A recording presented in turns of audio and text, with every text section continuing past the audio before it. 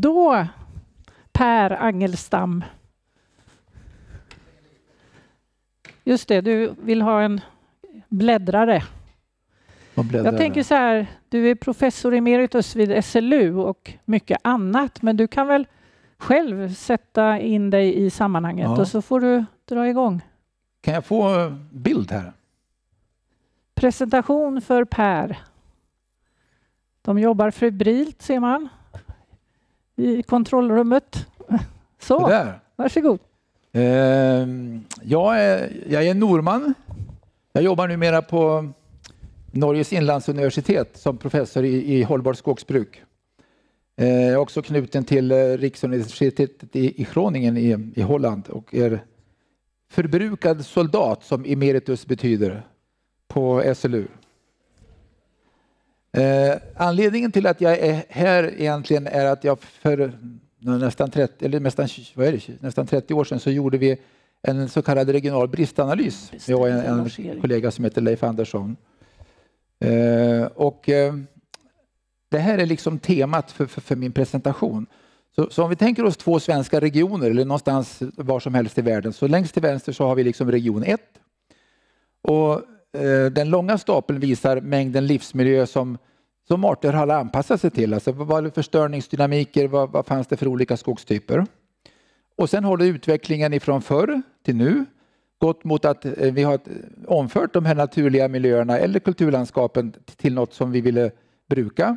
Men inte så mycket så att vi har passerat den här horisontella linjen som respekterar, eller representerar ett, den idén om tröskelvärden eller tipping points, att det finns något sorts intervall där det börjar bli osäkert om man klarar av artbevarande.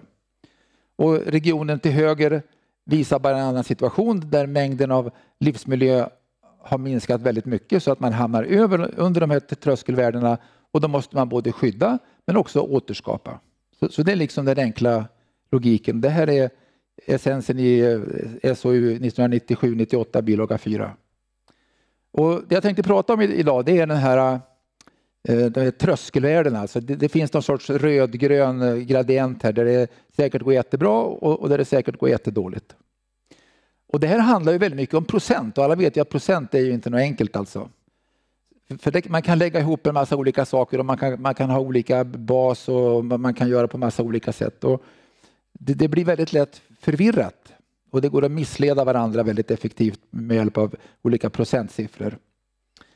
Eh, och sen också att man, det tycker jag var bra du tog upp Mora, att, att det handlar om, om både arter, strukturer och funktioner. Det är liksom begreppet biologisk mångfald. Men det här kan man ju då åstadkomma eh, bevarande av med flera olika ambitionsnivåer. Om vi tittar i Sverige så har vi produktions och miljömål när det gäller skogen. Och miljömålen eh, handlar om förekomst av arter men framförallt om, om livskraftiga stammar av naturligt förekommande arter. Så, så, det är egentligen två olika ambitionsnivåer. Och sen i produktionsmålet så är det viktigt att man har ekosystem som, som är resilienta och tåliga och som kan klara av klimatförändringar och så vidare.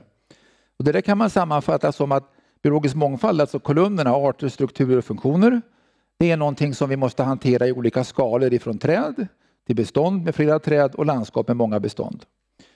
Så att den här rödgröna pilen där illustrerar att om vi har en låg ambitionsnivå, att vi vill bevara arter på kort tid, vilket egentligen är lite innebörden av miljömärkningar av olika slag, att vi, vi lovar att vi, vi låter saker och ting finnas kvar ett tag så länge vi är certifierade till exempel.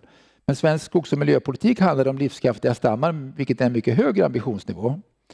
Och nu med klimatförändringar och, och eh, träden växer saktare så måste vi också verkligen på allvar fundera på att, att hela landskapet ska vara resilient och, och tåligt. Eh, jag fick i, i det här uppdraget att prata idag ett antal frågor den första frågan var vilka vetenskapliga metoder som finns för att beräkna hur mycket som finns av naturliga skogsmiljöer. Jag tänkte svara på dem jättekort först och sen tränga in i tre av dem lite längre fram. Och det som behövs är kunskaper om miljöhistoria och referenslandskap, alltså både jämförelser i tid och rum och om arters krav på hur mycket som det, av det som fanns en gång som behövs för att det ska finnas livskraftiga stammar. Eh, går det att fråga på, svara på den här frågan om referensvärden och areal? Och den enkla frågan är att ja, det kan man göra. Men man måste jobba både med ett naturvetenskapligt och så att säga, ett kulturgeografiskt sätt att se på de arter som, som finns där och vad de anpassar sig till och hur mycket som behövs. Eh, sen den tredje frågan var hur väger man in den brukade skogen? Ja, det kan man göra genom att bedöma mängderna av olika skogstypers ut och utvecklingsstadier, alltså från unga till gamla skogar.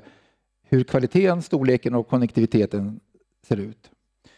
Och sen så var det en fråga om det, var, om det som vi hade var 1995 var tillräckligt eller inte. Och som, eh, mitt fokus är liksom som forskare i naturvårdsbiologi och landskapsekologi och det är ju, när EU gick med EU är faktiskt inte relevant överhuvudtaget. Eh, utan det är ju någonting som handlar om att svaret beror på vilken ambitionsnivå man har. Ska man ha kort, arter på kort sikt? Ska man ha livskraftiga stammar eller ska man ha resilienta system? Och sen är det då vi hade 1995 är det ett gynnsamt referenstillstånd. Ja, för de flesta skogstyperna i Sverige så är svaret nej på den frågan. Och den ska vi säga, naturvetenskapliga bakgrunden till det här med, med tröskelvärden eller tipping points. Det kan vi börja med att titta på det här virtuella landskapet längst ner. Så längst till höger så har vi eh, skogar som är inte påverkade. De kan ha naturlig dynamik, och, men sen så förändras de eh, normalt sett genom mänsklig påverkan och omförs ifrån eh, naturligt dynamiska ekosystem eller gamla kulturlandskap till odlingssystem. Om vi sen odlar granar eller vete, det är liksom lite sak samma. Och i den här gradienten så finns det, och det är liksom teoretisk ekologi, så finns det två viktiga intervall. Ett som eh, är då den, det högra vertikala prickade strecket som beskriver när blir fastlandet uppbrytet av, i, i, öar. Och det brukar man kalla för perkolationströskelvärde. Eh, alltså när kan vattenmolekyler eller arter perkolera, alltså rinna fram i, i det här svarta eh, utan att hamna i det vita och dö ut så att säga. Och så finns det då ett, ett utdöende tröskelvärde där, där sannolikheten att arter ska finnas kvar minskar väldigt, väldigt snabbt. Sen finns det en massa empiri om det här också. Eh, och, och det, de studierna, och det finns massor med sådana studier, de, de visar på, på att sådana här tröskelvärden de rör sig någonstans mellan 10 procent och kanske 40 eller 50 eller 60 procent. Och medianen för, för, för sådana här värden det, det, brukar vara runt 20 och då har det blivit en, en tumregel. Ilka Hanske pratar om en tredjedel av en tredjedel, det vill säga ungefär 10 procent. Eh, I svensk eh, skogs och miljöpolitik så, så pratar vi om 20 procent. Så tumregeln 20 procent är nog, är, den är grov men, men sammanfattar både empiriska och teoretiska kunskaper om, om ekologi. Och då är frågan den, det här svarta som var längst till höger, hur såg det ut där? Då måste vi komma ihåg att landskap i Sverige och andra länder har förändrats väldigt fort under väldigt lång tid. Eh, och när det gäller skogarna i norr så är ju ska vi säga, omföringen av naturligt dynamiska landskap till odlingssystem det centrala. Och det är väldigt tätt kopplat till utbyggnaden av transportinfrastruktur. Så, så det här är en, en, en flottledskarta från början på 1900-talet. Och flottning började i stor skala i, i eh, Klarälven någon gång på 1820-talet. Man hade flottat 200 år längre än så, men, men det var då som liksom avverkningarna tog, part, tog fart. Och grafen till höger det, det visar för Vindelälven och Umeälven att flottningen då började någon gång på 1880-talet och så ökade det väldigt snabbt och, och vågen av så att säga, omvandling av, av, av naturlandskapet började. Och sen blev det ju skogsbilvägar och järnvägar och så vidare. Och när det gäller kulturlandskapet så, vem känner inte till Petson? Alltså kulturlandskapet är ju djupt rotat genom sagor och berättelser och, och manifesterats av, av, de som har barnbarn vet ju att barnbarn älskar Findus. Eh, och det här är ju det odlingssystem som vi hade under lång tid och bysystemet med det redan romarna kallade för eh, domus, hortus, ager, salter och silva. En sorts sonering för att få alla de nyttigheter som man behöver för att försörja sig. Och det här förändrade vi ju snabbt i Sverige så den här kartan visar när eh, skiftesreformen hade genomförts. Så att ju eh, det svarta mörkgröna där skedde eh, skiftesreformerna i början på 1800-talet och ju ljusare det blir desto längre fram gick det så man kommer in på 1900-talet och så finns det två tjuriga regioner nämligen Dalarna och Gotland där man säger nej det där vill vi inte hålla på med. Så att återigen, empirin för att peka ut när förändrades landskapen snabbast? Ja, det är någon gång i, i, vi skulle kunna kalla det innan den industriella revolutionen kom till oss. Det vill säga i, i början, mitten av, av 1800-talet. Och naturligtvis med, med, med variationer i olika delar av Sverige. Men återigen, som en tumregel så säger det här ganska mycket om vad vi ska leta efter referenslandskapen i tid. Eh, om man sen resonerar då kring det rent tekniska kring bristanalys, och det är samma figur längst till höger där med mängden livsmiljöer i ett ursprungstillstånd förr, hur mycket som finns nu, hur mycket vi vill ha sedan i form av att skydda det som, eller bevara eller sköta det som redan finns som har höga naturvärden och så jobba med naturrestaurering. Och det, man behöver, det är liksom en väldigt enkel ekvation det här egentligen. Att det första vi måste veta det är mängder av habitat som arterna anpassar sig till, det vill säga A. Och det är bilden till vänster som kommer ifrån eh, Petjorafloden i Uralbergen i eh, republiken Komi där jag har jobbat mycket och där det finns liksom två miljoner hektar människor där det bor 30 personer. Eh, och till höger så har vi då dagens mängd som är ganska kraftigt förändrad. Och sen det här med tröskelvärden DC, alltså hur stor andel av det här som fanns från början behöver vi för att arter ska överleva långsiktigt. Och så kan man multiplicera de där med varandra och då får man ett långsiktigt mål. Och så kan man jämföra det med hur mycket som ser ut så då. Och blir det minus då är det en brist, då är det plus så är det ett överskott. Ehm, och det här är ju det är mycket jobb, men det är inget svårt att göra. Och bara för att illustrera det här med referenslandskap så har jag två Alltså om man ska beskriva ett landskap så är åldersfördelningar ett superbra sätt att, att beskriva det. Och den översta bilden den visar områden i Norge där det finns mycket vitryggig hackspett. Eh, och det man ser där det är mängden tall i mörkgrönt, mängden gran i, i väldigt ljus färg och löv i, i, i någon sorts mellangrönt. Så det finns väldigt mycket gammal lövskog. Och så finns det väldigt mycket gammal tallskog och regnar det 2000 mm om året då, då blir det väldigt mycket död tallved och då gillar vitryggig hackspett där också. Sen har man planterat en massa gran som man nu ångrar sig att man planterade, men, men så ser det ut. Och bilden längst ner den kommer ifrån Kosta Sapovednik i, i ryska Karelen som är ett tallskogsområde eh, med ja, intern dynamik, eller dynamik som, som bygger på eh, lågintensiva skogsbränder. Så om man då lägger in åldersfördelningar som vi normalt har i det brukade landskapet, alltså att man avverkar vid någonstans runt 80 år säger vi lite förenklat, så ser man att det, det tallskogen längst till höger saknas väldigt mycket i vårt brukade landskap. Och man ser att gamla lövskogar saknas också. Så det är bara ett exempel på hur, hur man kan jobba. Sen, eh, nästa fråga det är ju hur man ska väga in det brukade skogslandskapet. Skogsstyrelsen rapporterade i den här fördjupade utvärderingen att eh, hänsynsnivåerna på våra föryngringsytor är ungefär 8 till 10 procent och det kallar, delar man upp i utvecklingsmark, biotoper och kantzoner. Men de där enheterna är ju inte någon bra alltså beskrivningar av vilka resurser som de ger till arter. Så jag ser det som att man måste ha andra metoder för att mäta kvalitet på det man spar på hyggen.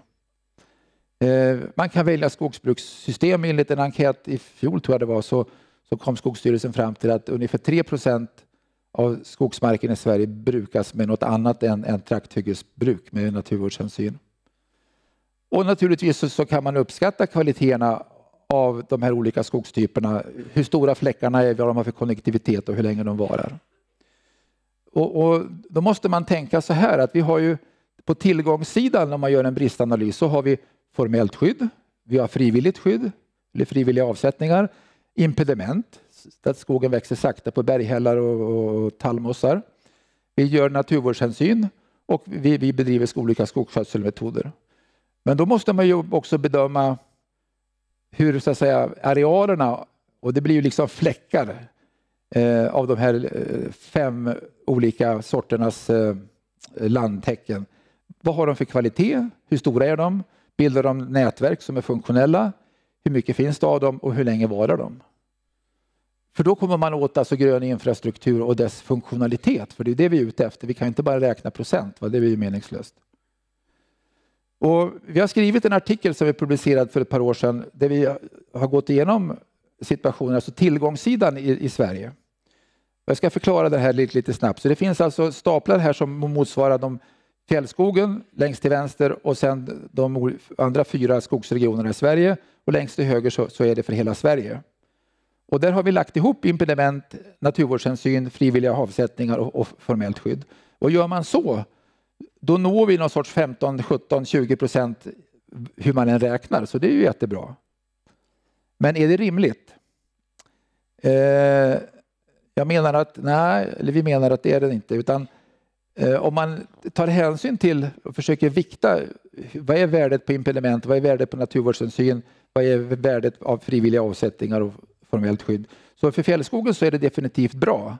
Men för de andra delarna i Sverige så sjunker det till någonting som inte alls är speciellt bra. Men väljer man att rapportera för hela Sverige, då blir det ganska bra. Så att eh, man kan välja vilka siffror man vill presentera och vad man tycker själv känns ärligt. Så att Sverige här, fjällskogen där och resten här. Och ser man det som en karta så ser det ut ungefär så här att de röda områdena det är där habitatnätverk fungerar. Och de blåa områdena det är där det fungerar riktigt örsligt dåligt. Eh, en avslutande sak är att något som man också måste tänka på det är nettot av skydd, frivilliga avsättningar å ena sidan och fortsatt avverkning. Det här är för Dalarna och Jämtlands län, så den vänstra figuren visar tillväxten av formellt skydd och, och ökningen av frivilliga avsättningar är ungefär lika stort, så man når upp till strax under 10 procent. Men om man gör rumsliga analyser, och det har vi gjort med 20 års mellanrum, eh, så visar det sig då att för tallskogsarter och granskogsarter i de här två länen så, så blir faktiskt den eh, nettoförändringarna av fortsatt avverkning av skogar natur, med höga naturvärden och mera skydd, det är tyvärr negativt. Och det är en minskning med någonstans mellan 12-15 procent och kanske upp till 40 procent beroende på vilken naturtyp man pratar om. Ehm, en nyckelfråga är var har vi de här sista naturskogarna eller skogarna med höga naturvärden? Och jag har jobbat tillsammans med ett gäng kollegor, vi har haft pengar från Naturvårdsverket och, och gjort en databas för hela Sverige som man kan hitta på den här länken som finns där. Så för varje hektaryta så har vi bedömt skogen efter graden av naturlighet och gett den ett värde mellan 0 och 100. Och det här är trakterna runt Uppsala. Så, så, så, ni kan ju se själv lite grann Uppsala, finns det något lys i den här? Det kanske det Ja, inte det. Men ni ser en, en röd blobba längst till höger. Det är det som ligger strax söder om stan här, Lunsen. Och, och Färnebofjärdens nationalpark så ser man upp, uppe till vänster. Därmed slutar jag och vill ni läsa mer om det här, för det här är liksom en liten teaser bara, så googlar man på Angelstam rapport 3 och då finns det nästan 100 sidor att läsa om det här.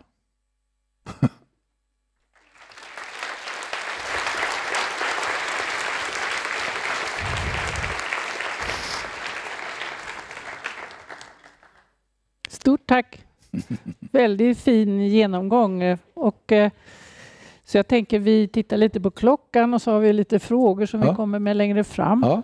Tänker vi. Ja. Men jag tycker det var en jättefin genomgång. Och, eh, hur går det med bristanalysen nu då? Du... Ja, du, du får först eh, hälsa din make som gav mig uppdraget en gång i världen. Ja, Nej, men det, det, går bra, det går jättebra. Ja. Det är ett helt gäng, många sitter i rummet här och det, vi, har en, vi har en plan. Mycket bra. Och är ni lika duktiga som ni var förra gången så kommer det att bli lysande. Ja. Vi ser fram emot ja, jag har inga tvivel om det. Stort tack. Här var det snäckor ja. säga, med lite sniglar också. Ja, tack. Tack.